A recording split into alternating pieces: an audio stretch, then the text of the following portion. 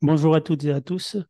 Euh, donc euh, cet après-midi, donc euh, présentation à deux voix avec Anne-Marie Seslek, donc qui était est attachée honoraire au muséum, qui était en fanérogami à un moment donné, vice-présidente en charge de la bibliothèque à la SNHF. Et à tous les deux, on va vous parler d'Ernest Cosson-Saint-Charles. Donc c'est d'abord Anne-Marie qui a fait tout le boulot à rechercher dans les archives en fait familiales euh, énormément d'informations. Et puis au début d'année, euh, donc euh, Agnès m'a posé la question, ainsi qu'André Charpin, si l'un de nous deux acceptait d'essayer de compléter sur la partie botanique. Donc c'est moi qui m'y colle, mais donc je parlerai en deuxième.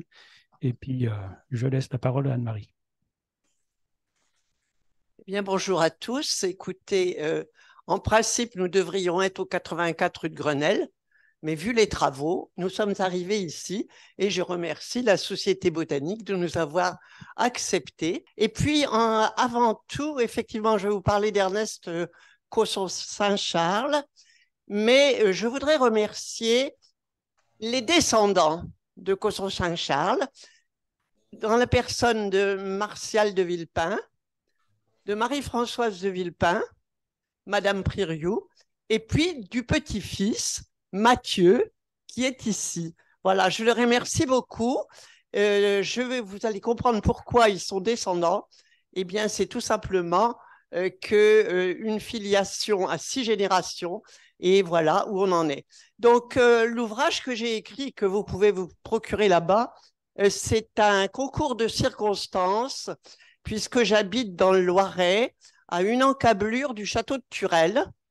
Et au château de Turel, habité jusqu'à Noël de cette année, euh, Bruno de Villepin, Bruno de Villepin qui était déjà un monsieur assez âgé, mais avec qui j'avais d'excellentes relations, d'une part parce que je lui faisais la lecture, parce qu'il avait des problèmes de, de vue, et puis j'allais le voir puisqu'il était veuf depuis 2014.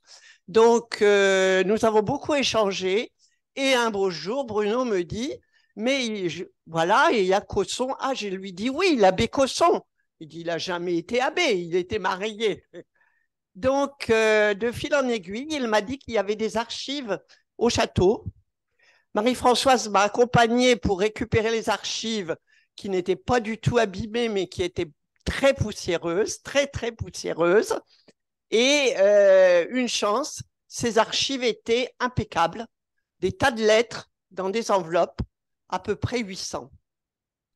Donc, euh, je me suis mis au travail, de ça il y a quand même presque trois ans, et j'ai commencé à ouvrir toutes ces archives qui vont finalement de 1860 jusqu'à 1903-1904. Le reste des archives étant au Muséum national d'histoire naturelle. Pourquoi? Parce que Ernest Cosson, eh bien, ça a été un très grand botaniste dans la période du 19e siècle, la période Napoléon III. Et vous allez voir, on est en pleine colonisation de l'Afrique du Nord et ça va être le travail majeur de Ernest Cosson. On peut passer la première diapositive, merci beaucoup.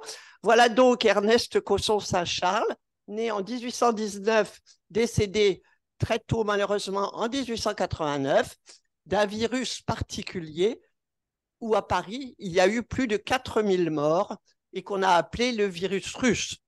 Donc vous voyez, à toutes les époques, il y en a des virus. Donc euh, Ernest Cosson est issu d'une famille, voilà, d'une famille qui remonte au XVIIIe siècle. Toute la famille de Cosson, ce sont des entrepreneurs, ce sont des, des ils sont installés dans le négoce et euh, comme vous voyez, le grand-père est marchand meunier. Et Jean-Christophe, le père d'Ernest, est marchand d'or.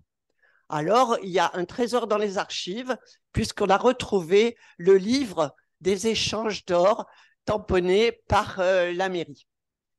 Voilà. Et donc, comme je vous disais, euh, Jean-Christophe épouse Anne-Louise Couturier. Il a deux enfants. Ernest, notre héros, et, Ernestine Antoinette, qui se mariera avec un monsieur Durand. Ernest va épouser en 1847 Victorine Moreau. Elle, elle est originaire de Château-Landon. Château-Landon, c'est en Seine-et-Marne, hein, au sud de Seine-et-Marne, et ce qui va expliquer le château de Turel, qui est sur la commune de Dorvidive, mais que euh, Victorine va recevoir en cadeau de mariage. Voilà Ernest et Victorine. Et au fur et à mesure des recherches en archives, vous allez voir que Victorine est une femme de tête très, très bien et beaucoup mieux pour le 19e siècle. Donc, deux enfants, Berthe Caroline, qui va se marier avec Georges Durand, et qui aura deux enfants, Jeanne et Ernest. Et c'est par Jeanne et Ernest que va se continuer la collection euh, de, de l'herbier. Paul Cosson, lui, il est euh, collectionneur d'art. Il se marie, il n'aura pas d'enfants. Il, il, amasse une collection extraordinaire. C'est l'époque de l'art japonisant. C'est l'époque de Rodin. Il a tout ça chez lui. Et quand il va décéder, il lègue tout ça au Louvre. Donc, euh, Ernest est passionné de botanique. Depuis qu'il est petit, on le lit partout. Il a 6 ou 7 ans, il se balade en forêt et il a besoin d'une loupe pour regarder l'infiniment petit. Et très très vite, il a fait quelques études bien sûr et son père ne veut absolument pas euh, qu'il euh, fasse de la botanique, ça n'est pas un métier. Il faut trouver un métier. Alors Ernest qui veut vivre de sa passion a décidé qu'il serait médecin il sera médecin, il sera même chirurgien et euh, il va, il pas. Et à ce moment-là, il va reprendre son travail sur la botanique. Alors, dans, son, dans ses études, il rencontre un autre Ernest, Ernest Germain Saint-Pierre, avec qui il fraternise beaucoup, et on les appellera les deux Ernest. Et le premier travail des deux Ernest, ça va être revoir la flore des environs de Paris. Donc, la flore des environs de Paris, depuis 1840, tous les deux, ils publient déjà. Et entre 1842 et 1845, eh bien, ils vont revoir la flore des environs de Paris. Ça va poser de gros problèmes parce que la flore des environs de Paris, c'est Linné qui l'a sorti à la fin du 18e et euh, c'est euh, le Victor Mera qui a repris ça un petit peu plus tard, une minute, qui a repris ça un petit peu plus tard, et c'est la fleur de Méra qui fait office de Bible.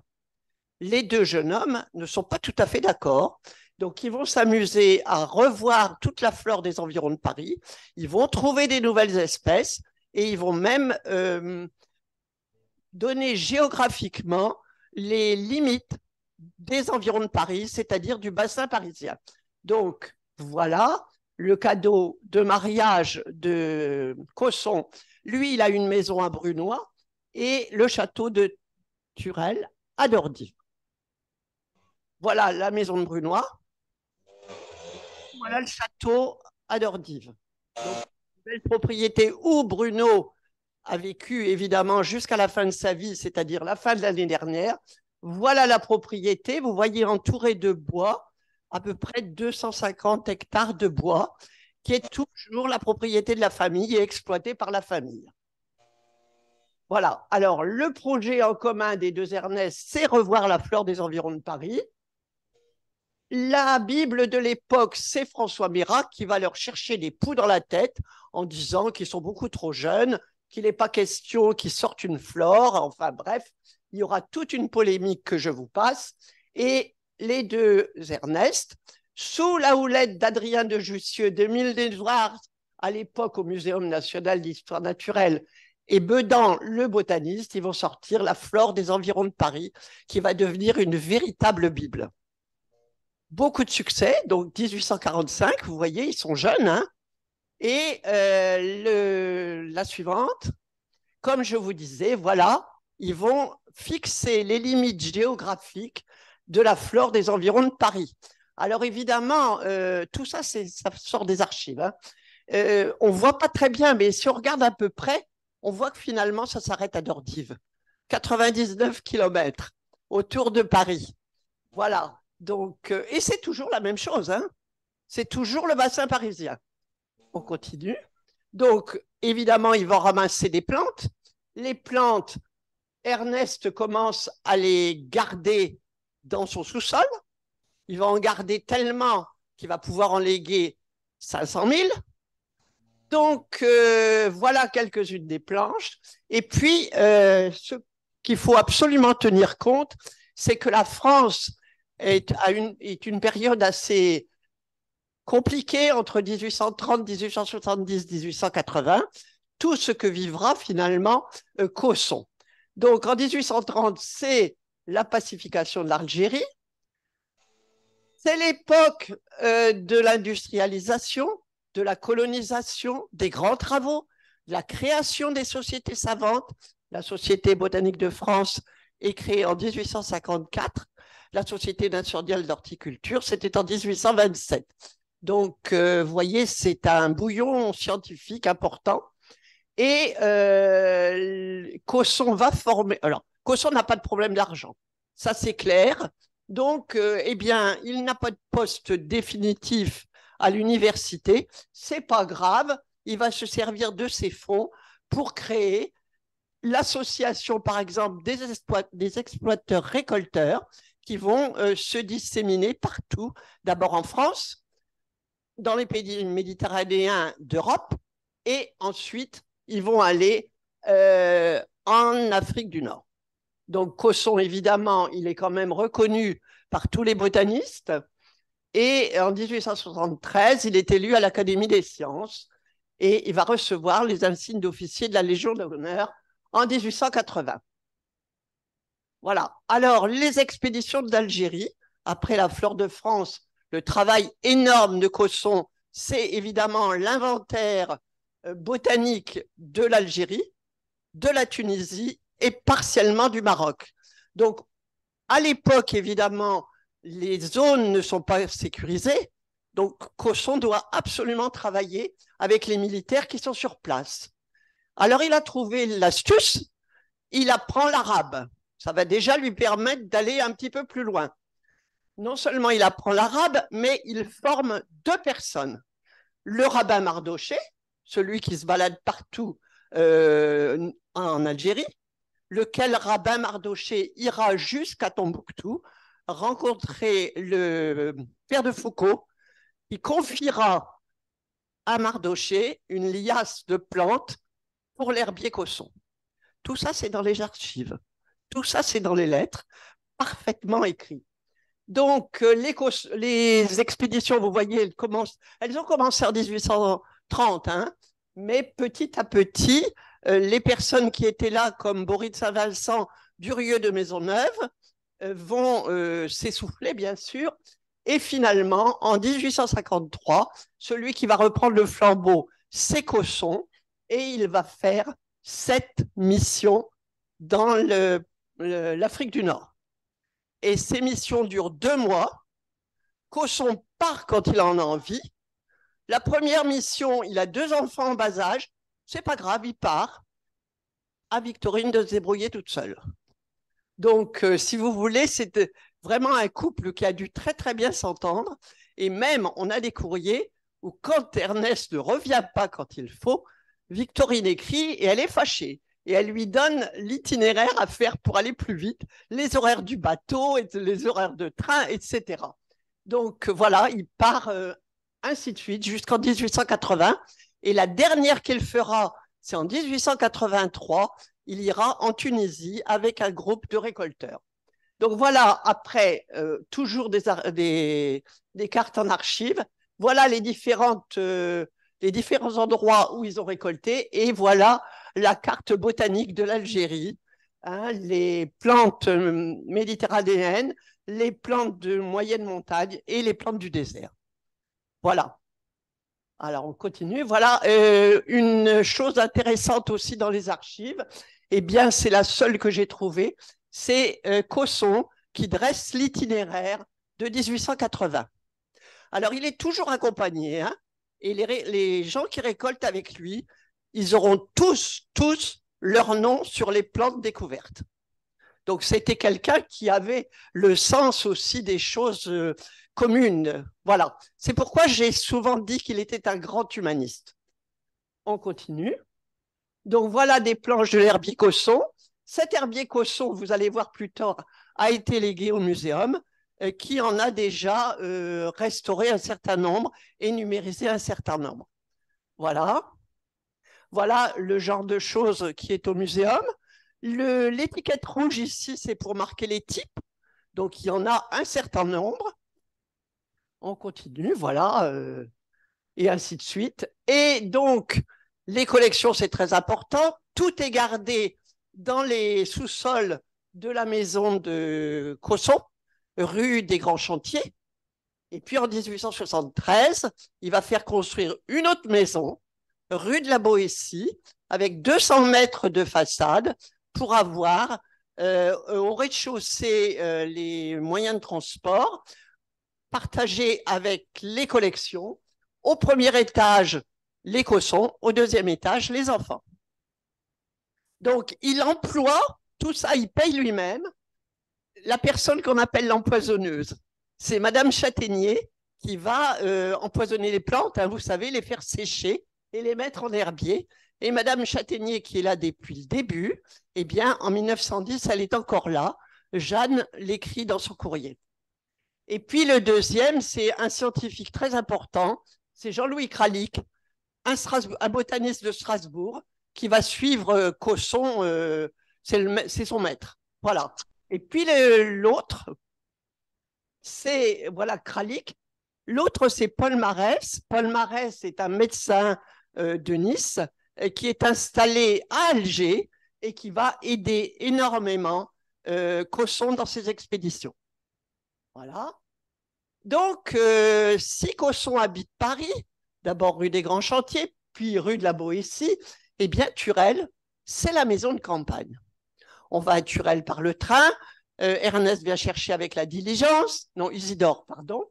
Et Cosson est propriétaire foncier. Donc, ça va lui permettre de se présenter aux élections euh, départementales dans son canton. Donc, il va se présenter ces trois fois-là. il sera élu dans le canton de Ferrières. Et euh, ce qu'il va faire, c'est énormément de choses pour les gens euh, des, cantons. Il va, il va les soigner. Alors, pour, pour une fois, il utilise son, son diplôme de médecin, il va les soigner sans problème. Et puis, euh, tout le personnel qu'ils emploient, évidemment, il est local. Quant à Victorine, elle, elle s'occupe des bonnes œuvres, notamment avec le pensionnat euh, de Ferrières, qui existe toujours, le pensionnat Saint-Jean d'Arc. Et d'ailleurs, il y a une plaque qui raconte euh, les donations. Donc voilà, élu départemental, les professions de foi de Cosson, les résultats et le nombre de, votants. On continue.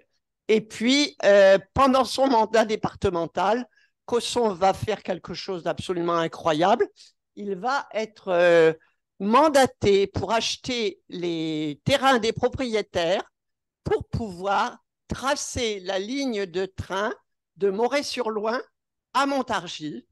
Et c'est la ligne qui existe toujours et qui est à l'heure actuelle le RER que je ferai une fois par semaine pour venir à la SNHF. Voilà. Donc, euh, l'autre gros problème dans la vie de, de Cosson, eh bien, c'est la guerre franco-prussienne. Alors, ça, ça n'est pas rien, n'est-ce pas? Et euh, Cosson reste à Paris avec son fils Paul. Il envoie tout le monde c'est sa famille, ses beaux-parents, ses parents, ses cousins. Il envoie tout le monde en Angleterre. Et il dit allez voir Hooker, mon ami du Jardin botanique de Londres, il va vous trouver des hébergements. Donc il a aussi un réseau hors France. Donc c'est ce qui se passe. la fille, Madame Durand, elle en profite pour trouver des, des, entreprises qui travaille notamment le cuir, et c'est l'époque de l'invention des machines à coudre les souliers. Donc elle va en acheter une pour son mari, et ils seront amis avec les Gardner qui viendront à Turel. Donc les femmes s'occupent même ailleurs. Et, évidemment, elles vont rentrer, elles parlent parfaitement l'anglais. Donc, euh, quant à Cosson, il est à Paris, il est rue des Grands Chantiers, et sa maison qui est une grande maison, son jardin qui est un grand, un grand jardin, plus de 250 mètres carrés, eh bien, il va ouvrir sa maison et construire ce qu'on appelle une ambulance, c'est-à-dire qu'il va avoir 14 lits minimum pour euh, les, les, blessés de la guerre et des tentes pour en recevoir d'autres éventuellement, surtout pour faire à manger, etc., etc. Donc voilà, pendant tout le siège de Paris, la maison de Cosson va être utilisée à ce genre de, manifestation. Évidemment, à ce moment-là, Cosson va reprendre son travail de médecin et il ne va faire que aider à la guérison des gens. Ça ne l'empêchera pas de travailler quand même à son herbier et surtout de le préserver avant toute chose. Voilà. Et on voit, il y a quelques documents qui donnent la façon dont Cosson donnait de l'argent pour euh, les blessés. Voilà. Et puis, euh, comme je vous disais, il n'a pas cessé de travailler à la botanique et il publie en 1871. Voilà, il prépare son grand ouvrage sur la flore et la végétation d'Afrique du Nord. Quant à Turel, il y va très souvent et euh, il organise des parties de chasse. C'est un chasseur euh, vraiment convaincu. Et ce qu'il va faire, c'est qu'il va introduire le faisan dans les bois de. Là-bas, il entretient des petits jardins de plantes rares, il élève des abeilles et il continue ses recherches dans son laboratoire. Et nous avons une lettre assez succulente où son fils Paul explique qu'il y a une détonation dans le laboratoire de son père et qu'il s'est retrouvé debout sur le canapé. Voilà. Donc ça veut dire que c'était pas toujours, euh, limite quelquefois. Donc voilà les descendants d'Ernest et Victorine, donc Berthe Caroline. Elle va décéder en 1901. Elle est mariée à Albert Durand. Elle a deux enfants, Jeanne et Ernest. Paul, comme je vous l'ai dit, n'a pas de descendance. Et en fait, c'est Jeanne et Ernest. Ernest va continuer une fois que leur maman est décédée. Ils décident de mettre les collections qui sont très importantes au muséum. On leur dédie euh, vraiment trois pièces énormes dans un bâtiment qui n'existe plus maintenant et Ernest va travailler à ses collections jusqu'à son décès. Voilà euh, Jeanne, donc Madame Galis, et voilà Ernest Durand. Ernest va se suicider en 1910. Voilà, et voilà les décès toutes les deux en 1901. Et voilà le legs au muséum. Donc Jeanne et Ernest vont au muséum en disant voilà, on a 4000 ouvrages, on a 500 000 planches d'herbier. Est-ce qu'on peut euh, les déposer au muséum? Donc, il va y avoir toute une tractation, évidemment, avec l'Assemblée des professeurs.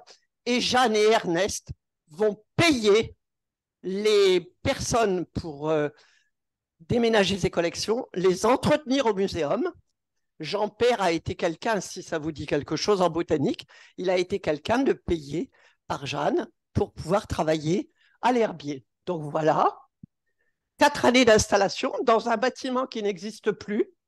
Et il est depuis 1936 dans le, nouvel, euh, dans le nouveau bâtiment que vous connaissez probablement, hein, euh, le grand bâtiment euh, cryptogamie, phanérogamie.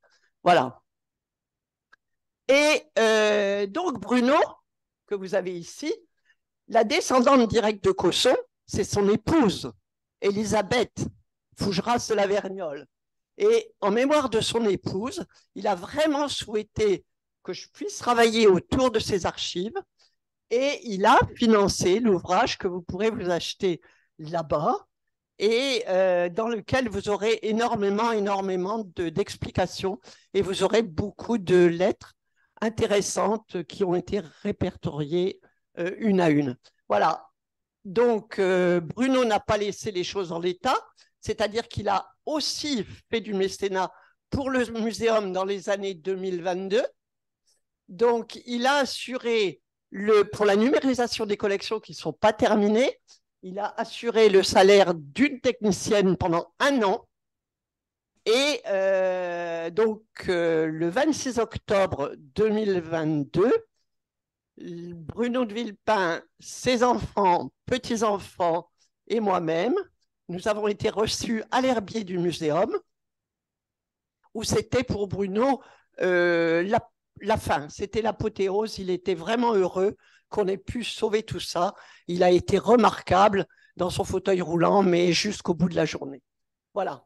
Et Bruno est décédé à Noël 2022. Euh, Donc voilà ici, euh, le château de Turel avait été avant Bruno de Villepin et son épouse qui s'y sont installés en 1962 il avait été la propriété de Jeanne Galis, donc la tante, qui n'a pas eu d'enfant, etc. Et Jeanne Galis peignait toute la forêt de autour d'elle. Donc il y a dans les archives énormément de dessins de Jeanne Galis. Voilà euh, tout ce que je peux dire. Je ne parlerai pas de la Société botanique, mais sachez que c'est lui, avec Ernest euh, Germain, qui est à l'origine de la création de la Société botanique de France, avec d'autres, hein, bien sûr. Il y avait des professeurs du muséum, bien sûr, c'était 14. Et donc, à partir de là, eh bien, je trouvais que c'était très bien de parler à deux voix et de laisser la parole à Monsieur Maléco pour vous raconter la Société botanique de France. Merci Anne-Marie.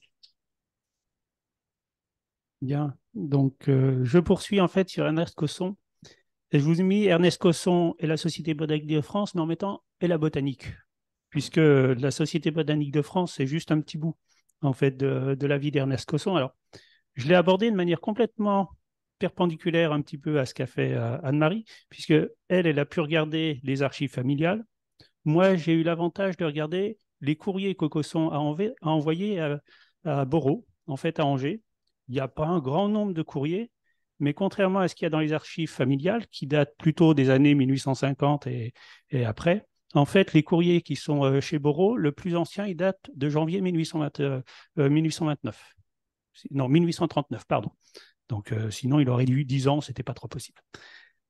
Et donc, dans cette, cette présentation-là, juste un rappel, c'est que la botanique en France, en fait, dans les années, ouais, si tu peux juste masquer. C'est pas le bon à masquer. Non, ça passe pas.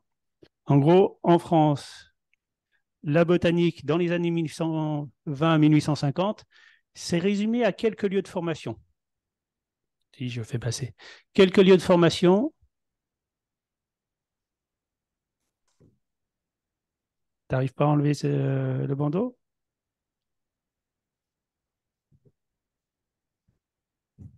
C'est mieux comme ça? Merci. Par contre, si j'arrive plus à déplacer les choses, je clique. Je clique. J'ai juste à cliquer.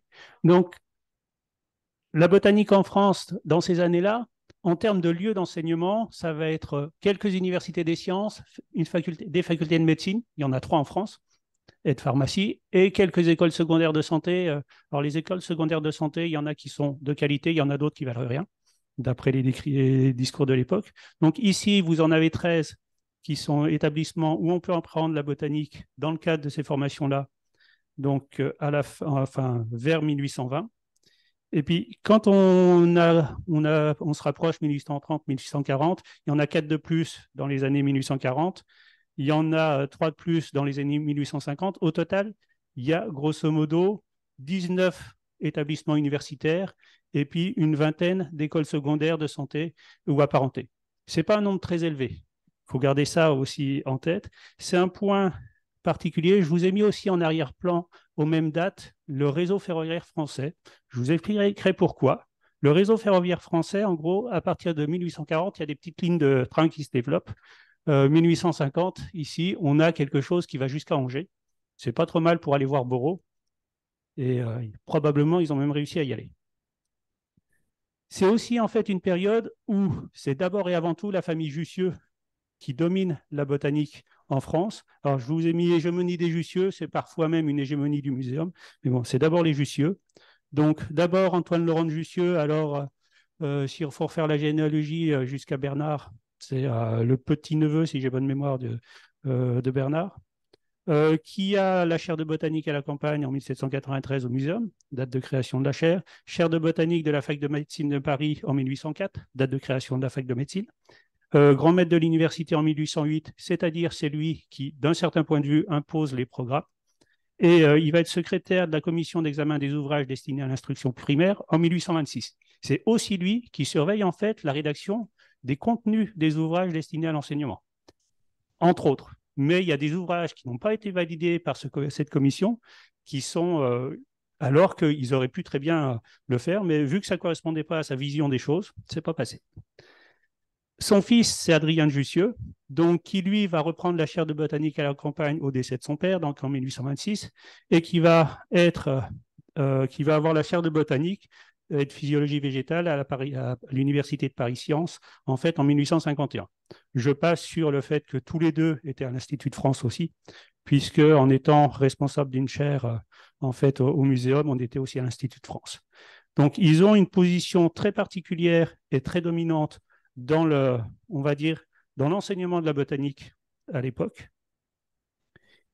Avec, Adrien, euh, oui, avec Adrien Jussieu, on parle des toutes premières herborisations qui sont faites en utilisant le train.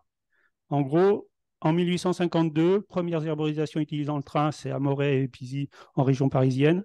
Euh, ils bénéficient en fait d'une réduction sur le tarif du Paris-Orléans. Ils ont même monté, et ça c'est euh, euh, c'est le comte Jaubert qui le raconte en 1865, ils ont fait des négociations avec la compagnie de chemin de fer pour que les membres des herborisations ils puissent prendre le train et payer moins cher ce qui est pas mal, on emmène, tout le temps. Et depuis Bernard de Jussieu, il y a toujours la même succession d'herborisation dans les cours de botanique à la campagne en fait du muséum, avec entre autres, euh, je ne sais plus si c'est Boulogne qui doit être le premier, la première herborisation, puis ensuite on se déplace à droite et à gauche. Par contre, il y a de la contestation. Il y a deux types de contestation. Une d'ordre scientifique, c'est une contestation classificatoire.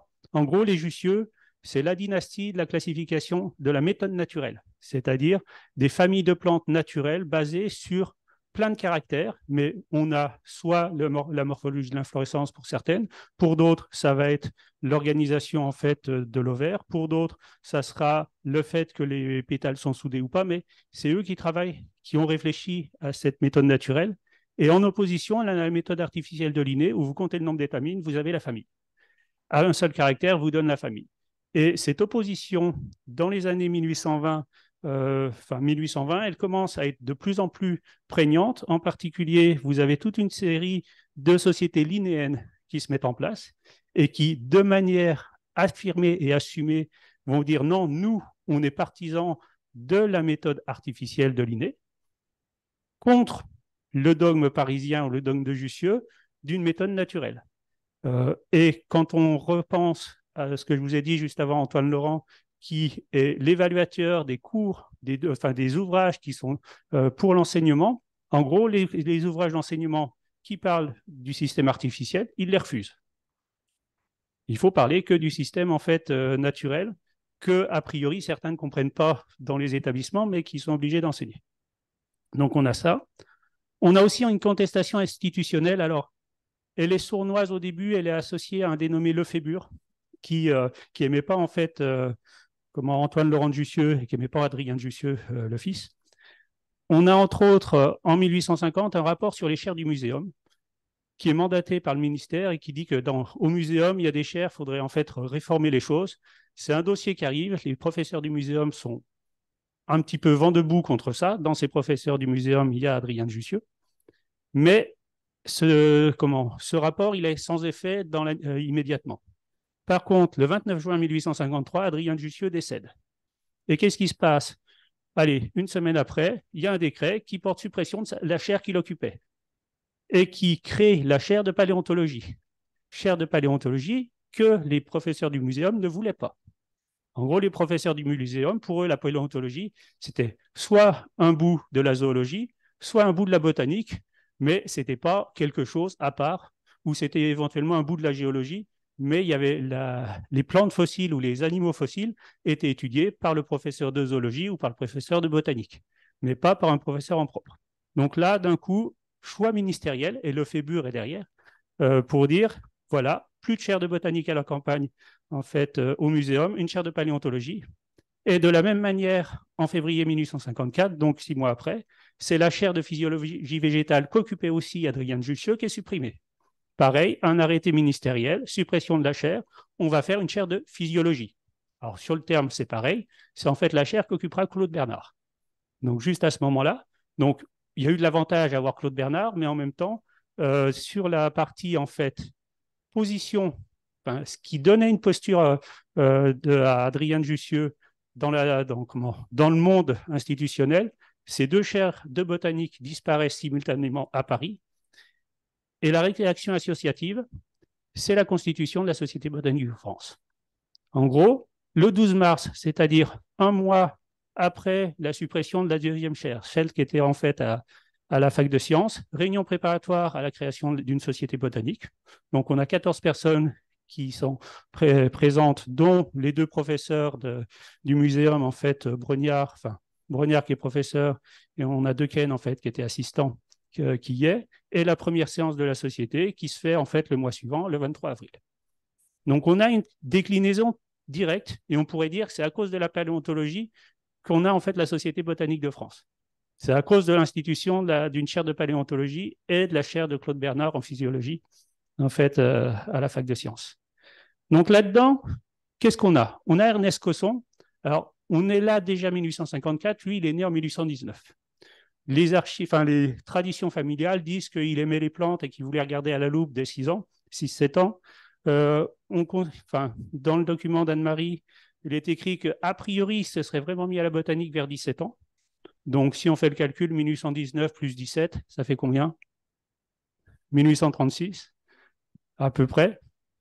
Donc, on est sur cette période-là, et 1840, c'est sa première publication. Première publication, sachant qu'actuellement, moi, je n'ai trouvé de mention de courrier de sa part que de 1800, en fait, 39, donc janvier 1839. C'est la grande question, qu'est-ce qui se passe pendant ces 21 ans? Notez aussi que dans ce système-là, on va parler de Germain de Saint-Pierre, qui est de 5 ans son aîné, et qui va passer sa thèse en 1842. Euh, et puis euh, Cosson, lui, passera la thèse en 1847. Donc il fait ses premiers travaux de, botanique avant de passer la thèse. Mais il y a un moment donné, il s'y met. Et il s'y met. Alors la mention qu'on a, c'est, on sait qu'en 1838, il a été visiter en fait la vallée du Rhône supérieur avec l'abbé Danem, mais il était déjà en fait intéressé par la botanique pour accepter de faire euh, plusieurs centaines de kilomètres en, calèche, puisqu'on n'était pas avec les, trains, et aller regarder ce qui se passe, euh, les plantes qui poussent en Savoie et.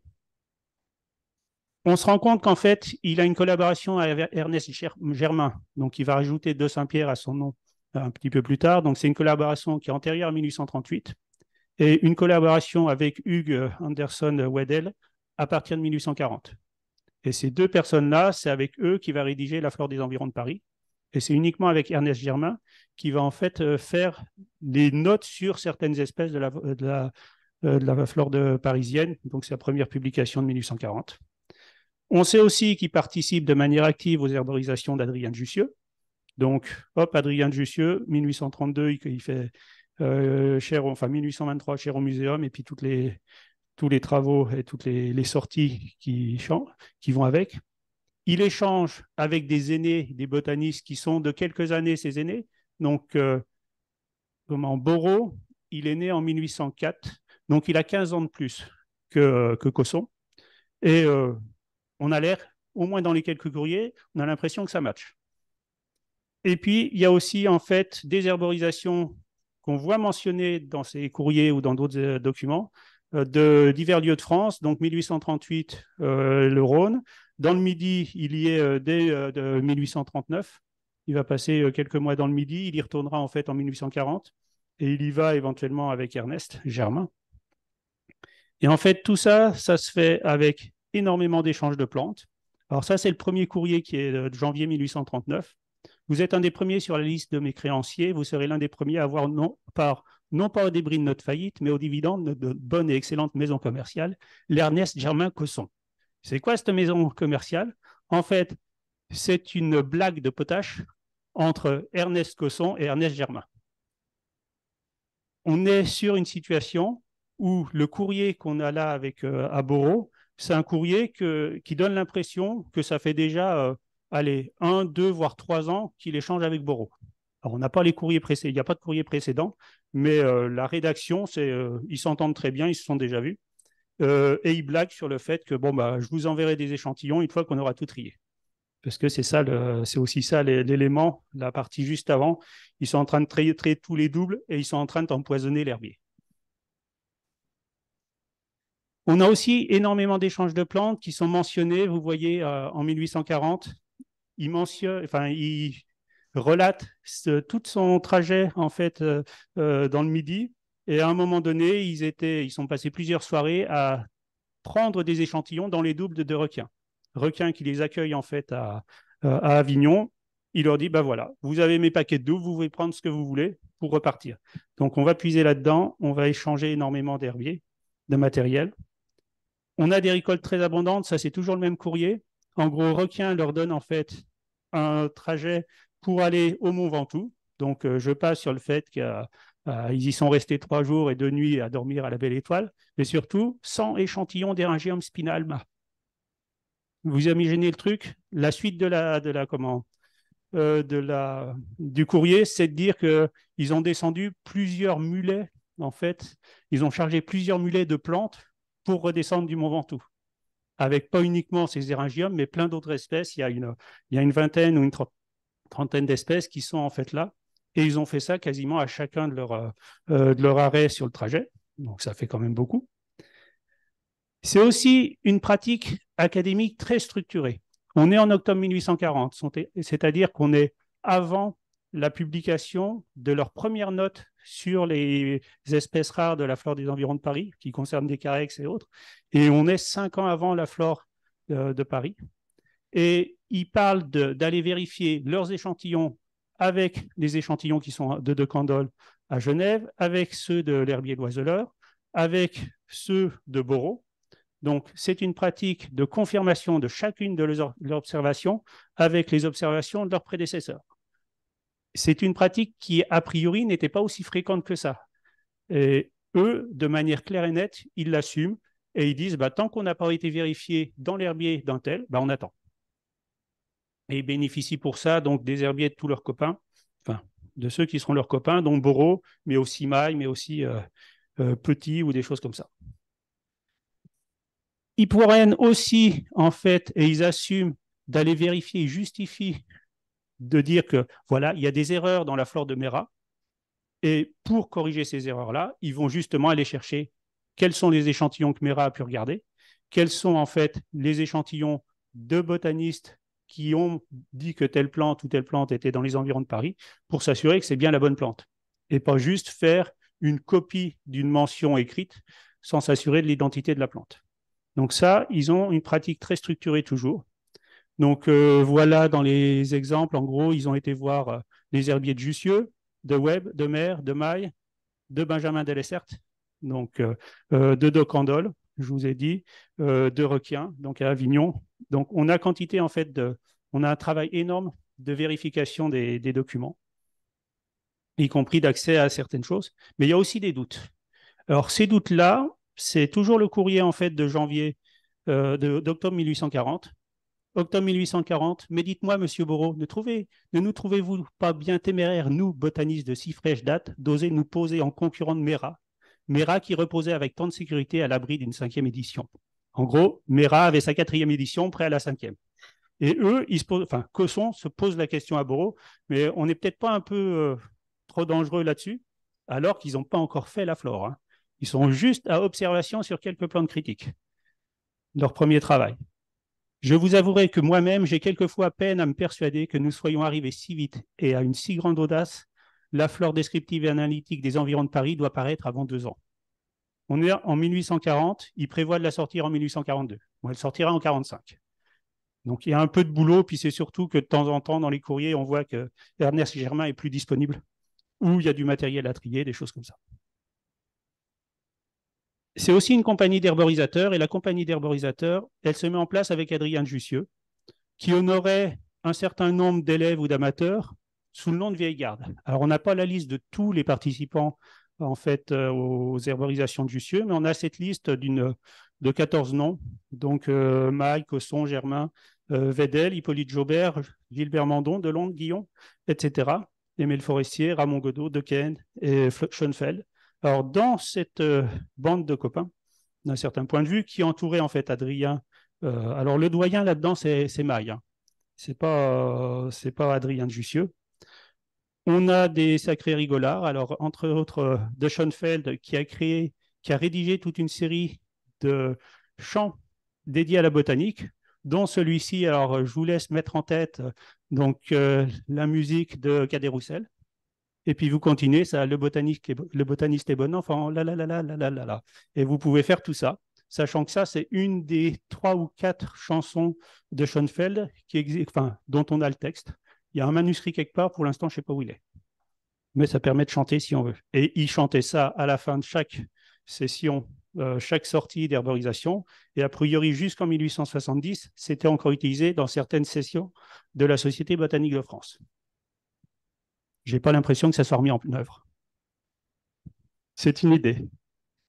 Et pourquoi parler de cette compagnie d'herborisateurs? Parce que si on prend la liste de ces herborisateurs, celle qui est encadrée en gris, en gros, il y en a cinq qui ont participé à la réunion préparatoire à la création de la SBF. Et sur ceux qui ne sont pas membres des, enfin, qui ne sont pas dans la vieille garde d'Adrien Jussieu, on a quand même Duchard Brognard, qui était prof au muséum à ce moment-là, qui occupait les autres, les autres chaires en fait de, euh, de botanique ou, ou, apparentés. On a toute une série d'autres personnes qui, au final, sont directement liées avec euh, soit Cosson, soit Germain, soit Jaubert, donc euh, Puel, etc. Donc, on a en fait un groupe de gens qui se connaissaient très bien, et qui, vraiment par réaction à la disparition des chaires en fait, de Jussieu, a constitué la SBF. C'est aussi une application sociale. Alors, il y a quelques petits courriers qui nous parlent que c'est les parents en fait, de Cosson qui invitent Borot à manger ses jeux le samedi suivant, mais bon, peu importe que ce soit le samedi suivant, sachant qu'en plus, ils iront se voir euh, euh, la semaine d'avant chez Jaubert.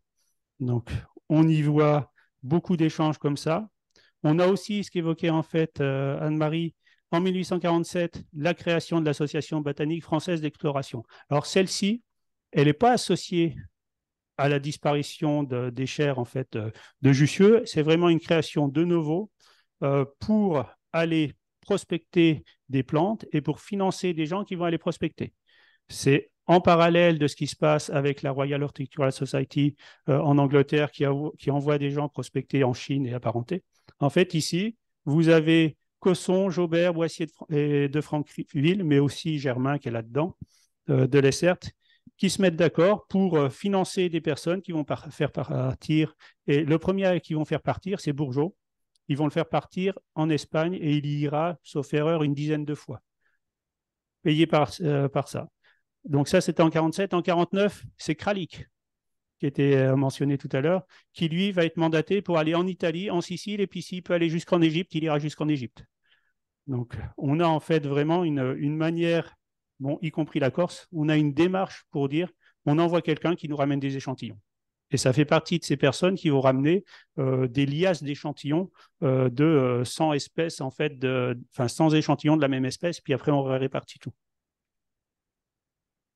Et vous voyez en fait dans ce système-là que l'herbier cosson, au final, c'est un nœud d'échange entre de répartition d'échantillons. Il y a quelqu'un qui leur envoie des échantillons, pof, Mandon a récolté des plantes à Madère, ça arrive chez Cosson, qui les détermine, et puis ensuite, il y a une mise en collection, une répartition qui est faite par Balança, et vous pouvez acheter la centurie pour 30 francs. Vous avez la même chose, l'herbier de la Pérodière, pof, Cosson récupère les mousses, et puis va distribuer les mousses en fait à des gens. Les reliques de maïs, qu'on appelle en fait l'herbier maille que Cosson va, va acquérir, en fait, ont le même de, vont avoir le même devenir. En fait, il y a Kralik qui va répartir toutes les centaines de milliers d'échantillons pour faire des paquets, puis on vous envoie ça euh, sans souci. Donc on a un nœud euh, qui existera encore un peu plus tard avec d'autres botanistes de la société, mais on a vraiment un système, une plateforme d'échange d'herbier qui s'est constitué à ce moment-là. Et dans la SBF, Cosson n'est pas juste la plateforme d'échange d'herbiers, n'est pas juste la personne qui va en fait voir, qui va en Algérie régulièrement et qui ramène des choses. Cosson, il s'est impliqué dans le conseil de la SBF de 1854 à 1889. Il est décédé en 1889. En gros, il y a seulement deux trous où il n'est pas mentionné comme membre du conseil. En 1871, bon, on sait qu'il est conseiller départemental euh, et qu'en plus, c'est une année où on n'a pas eu un, vote très notable en fait là-dessus. Et puis 1884 à 1886, où pareil, il n'est pas membre du conseil. Mais de toute cette période, pendant en fait euh, euh, les 45 ans du début de la société, il a été présent dans le conseil, de vice-président, deux fois, enfin, deux fois président en 63 et en 80, euh, trois fois vice-président, secrétaire pendant euh, au total quasiment euh, dix ans, vice-secrétaire dès le début, donc à rédiger en fait le bulletin et à s'occuper des, séances. Donc c'est une implication très très forte dans l'activité de la SBF qui s'explique aussi par la construction, l'origine de la SBF et la, réaction de ce groupe d'herborisateurs qui était autour d'Adrien Jussieu. C'est une production scientifique très importante. Alors, il y a 800 noms d'espèces de plantes à fleurs qu'il a proposées, soit seul, soit avec d'autres auteurs. On retrouve en fait des noms de tout à l'heure, euh, Kralik, Germain, Moquin-Tendon, de Maisonneuve, 74 publications quand on recense, quand on regarde les recensements de l'époque. Donc, il y en a une bonne quantité à partir de 1840. Deux noms qui lui ont été dédiés. Alors, il y a le premier, c'est Discerneston. Pourquoi dédié à Cosson, en fait, c'est dédié aux deux Ernest. La plante des deux Ernest, bon, pas de chance, c'est un synonyme de Férula maintenant. Euh, mais la logique, en fait, quand Jaubert Espache propose ce nom-là pour une espèce euh, de d'Algérie, c'est pour la dédier aux deux Ernest, les deux copains en fait qui sont mis d'accord pour faire la flore des environs de Paris et foutre par terre en fait le travail de Mera. On a aussi Cossonia, alors là c'est Durieux, tout seul en 1853, qui va proposer en fait la description de Cossonia sur la base d'échantillons pareils d'Afrique du Nord d'une brassicacée, en disant bien ben, c'est euh, dédié à notre ami et collaborateur Ernest Cosson, auteur de la Flore de Paris, euh, enfin auteur avec prestance de la Flore de Paris, euh, très attentif en fait sur les plantes d'Espagne, d'Afrique, et puis en signe de notre éternelle amitié. Donc, on a en fait ce genre-là, bon, pareil, passé en synonymie d'autres choses. Alors là, on est sur vraiment une subtilité. Les deux noms étaient publiés la même année, 1853 tous les deux, donc c'est à quelques mois que ça s'est joué. Une quarantaine d'espèces qui lui sont dédiées. Donc là, vous avez toute la liste et c'est, on va dire, tout groupe d'angiospermes européennes et nord-africaines confondus. Donc, depuis des rosacées, rosacées renonculacées, des verbascums, enfin, il y a plein de choses. Donc, c'est vraiment l'ampleur de ce qu'il a récolté, dans l'ampleur de ce qu'il a récolté, des choses qui ont été reconnues, y compris des choses qui ont été reconnues beaucoup plus tardivement, au XXe siècle. Et si je dois résumer tout ça, c'est un acteur majeur de la botanique, d'une certaine botanique, d'une certaine euh, comment, logique école de botanique dans les années 1840. Il a constitué un herbier exceptionnel par don, achat, mission, mission partagée ou mandatée, des échanges, une énorme plateforme d'échange d'herbiers, une pratique très rigoureuse de quand on dit qu'une plante est présente à un endroit, on va vérifier ce que les autres ont dit. On ne se contente pas juste de recopier les choses. Et un membre très actif de la SBF pendant ces 35 premières années. Avec ça, je vous remercie sur cette ancienne photo de, la porte de la bibliothèque Ernest Cosson, qui était devenue bibliothèque Ernest Durand, sauf erreur, au troisième étage de la Fanérogamy. Merci. Est-ce qu'il y a des questions? Oui, je voulais vraiment vous remercier euh, tous les trois pour euh, ce sujet qui, qui me passionne depuis longtemps. Et je voulais vous demander, il n'y a pas de traces, euh, et éventuellement aussi la famille, bien sûr, parce que je trouve très touchant d'avoir un lien avec la famille. Et j'ai déjà eu des, euh, par exemple, une amie qui, j'étais pensionnaire toute petite avec elle, qui était Diane de Guébriand. Son père était euh, Jean de Guébriand, qui a été un des premiers explorateurs en, Amazonie aussi à une certaine époque. Et donc, voilà, je trouve très touchant de ce lien familial. Et je vous remercie parce que c'était vraiment euh, très touchant. Je voulais savoir si on ne parle pas du tout, je ne connais pas les dates, mais de René Maire, qui a été un grand oui, est-ce qu'il y a des, liens avec. Euh, est-ce qu'ils se sont rencontrés euh? Alors, il y a du matériel en fait de René Maire dans l'herbier Cosson, en gros. Et ce qui se passe, c'est que Cosson a récupéré des herbiers, l'herbier maille, qui contenait en fait du matériel, l'herbier mère, qui contenait aussi l'herbier petit. En fait, j'aurais tendance à dire que la moitié de l'herbier Cosson, c'est l'herbier en fait de maille, qui contenait en fait plein d'autres herbiers. Donc, quand on regarde la, traçabilité, c'est 1867 qui récupère l'herbier en fait de, de maille, où euh, grosso modo, il récupère énormément de choses anciennes, dont euh, des choses de mer une question qui est une question double. Lorsqu'il est allé en Algérie, euh, est-ce qu'il a eu des rapports avec les colons qu'il y avait là-bas? Et la deuxième question, est-ce qu'il aurait participé par hasard à la création du jardin d'essai ou à l'école d'agriculture de Maison Carrée Sauf erreur, le jardin d'essai, c'est hardi et c'est euh, en fait bien plus tardif, donc c'est 1880. C'est, euh, c'est, euh, il était revenu, il était plus, euh, il était plus, Cosson était plus là-bas. André, tu voulais dire quelque chose? Non, pas spécialement, mais dans le cas de René Maire, je suis quand même un peu étonné, hein. pour la raison suivante. Je suis en train de vérifier, mais René Maire, qui est allé en Algérie, où il a été longtemps professeur, il est né, sauf erreur, en 1878. Est-ce que je vérifie? C'est pas le bon maire, André. Euh, on a bien dit René, hein, c'est ce que j'ai entendu. C'est pas René, c'est l'autre maire. Ah bon, alors d'accord, j'ai rien dit. Mais j'ai entendu René. Hein. Donc c'est pas René, c'est pas René Maire, auteur de la fleur d'Algérie dans les années 30. Euh, en gros, il y a un autre maire, un homonyme qu'on a eu du mal à identifier pendant longtemps, qui était euh, associé aux herborisations de Jussieu euh, et qui avait aussi un gros herbier, mais qui n'a jamais rien publié. Donc des fois, quand on trouve du matériel de mer dans l'herbier Cosson, c'est pas René Maire, c'est l'autre euh, maire, j'ai plus son prénom, désolé. Georges, non? Non, il y en a trois ou quatre qui s'appellent Maire. Ça complique les choses, Du coup, avec le recul de l'histoire, cette flore Mera, est-ce qu'elle était si incorrecte qu'elle nécessitait toutes, euh, toutes ces corrections?